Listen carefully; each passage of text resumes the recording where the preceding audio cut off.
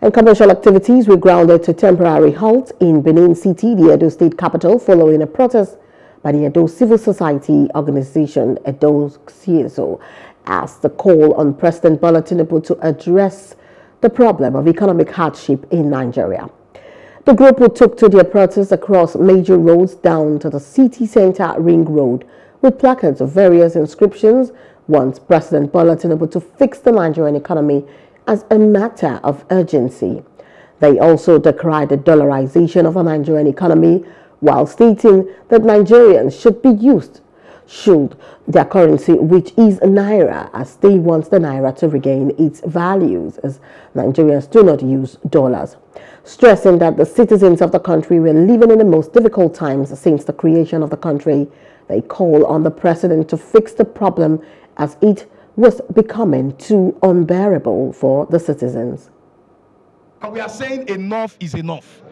On the 29th May 2023, Asiwaji Bola Ahmed Tinubu, the President of the Federal Republic of Nigeria, took an oath. And one of the oaths he took is to protect the Constitution.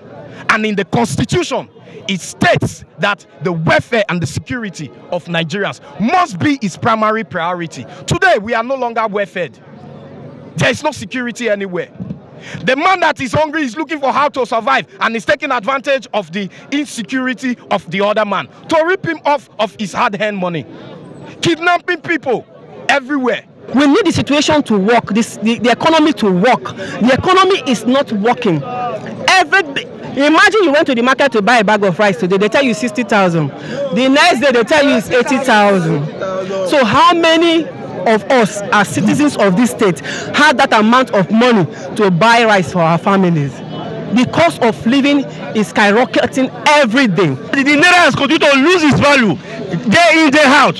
How can we survive? Uh, we are more of an import uh, co uh, country than an export company. We cannot survive this this moment.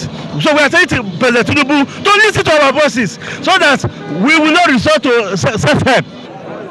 And when there is hunger, there is anger. It is hunger that leads to anger. And where there is anger, there is destruction.